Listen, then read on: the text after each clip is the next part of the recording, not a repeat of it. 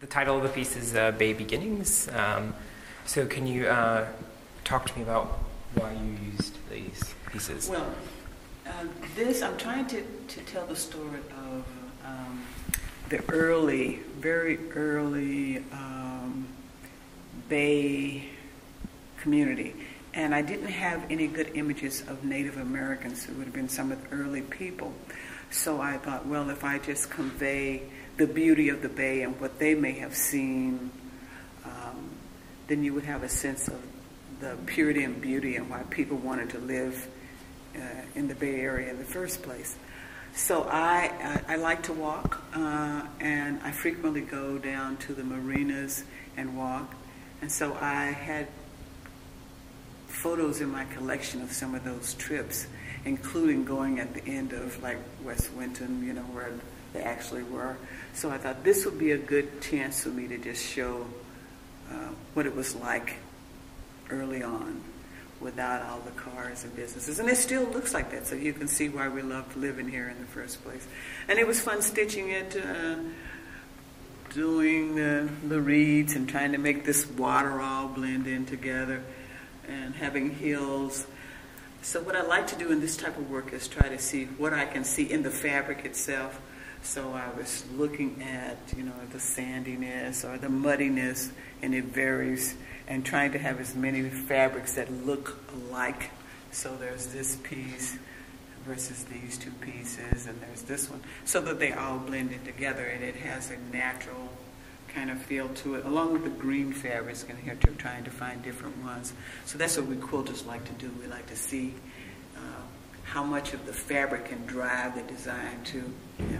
So, some of the pieces uh, that I really love is the water that you use. It actually physically looks like it's flowing. Did you? Was that your pure intention? It was. I mean, I was I was working it and looking at looking at the photo and looking at the direction of it because sometimes if you tilt it, it looks more wavy than that. So yes, so I was I was I was uh, busy trying to align them, and there's more than one piece. See, so it's not one solid piece. I've connected pieces here, and there are pieces there, and this is a slightly different piece here. So sometimes when I'm running out of something, then I have to go back and look in my stash and see something that'll almost work. And then you have like little seepages of water over in here. So, so that's part of the, the fun of it. I debated on whether or not I was going to put some salt in here. Uh, had gotten a piece of salt because you know the whole bay, bay near where they lived, they uh, mined this, the salt from the bay. Uh, but then I was afraid that with people visiting it, that it would probably become a smushed. I could encapsulate it, but I was afraid it might bleed, so I left it out. So, uh, speaking about sand, uh, I just love uh, the the waviness of the sand itself. It's just uh, you could definitely just like imagine take, picking up a pile of sand in your hand and just let it like seep out. Uh, did you also like learn this over time, or did you kind of just like decided to create the waviness of the sand? Well, I usually think about when I'm. Uh, it's it's free motion, but I'm also trying to. You know, you can see the variation in stitch. So this is denser, uh, more swirls, like you would if you were moving through the sand, versus the clouds where there's movement there, but it's looser. So.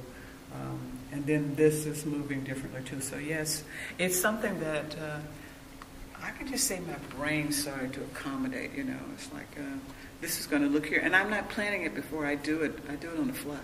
I mean, when I, when I have um, my sewing machine, I'm just using a regular sewing machine too. Uh, I'm just doing it. So when we quilters start, we usually start in the center. So it's very likely.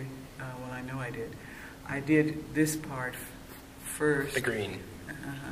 And then I work my way up, and I work my way down. So I change threads, and and there are what we call variation in threads. So if you're looking at it real close, you can see sometimes there's light. That's called um, variegated thread. It helps to add an extra layer of texture too. Yeah. With the last thing that I would like to analyze in this quilt is the reeds. So I specifically love this part because there's literally you sewed each reed. You can actually see each stitching, and then you had to cut it off and then put the the cattails on the top. How long did that take you? Well, I do I do the entire top.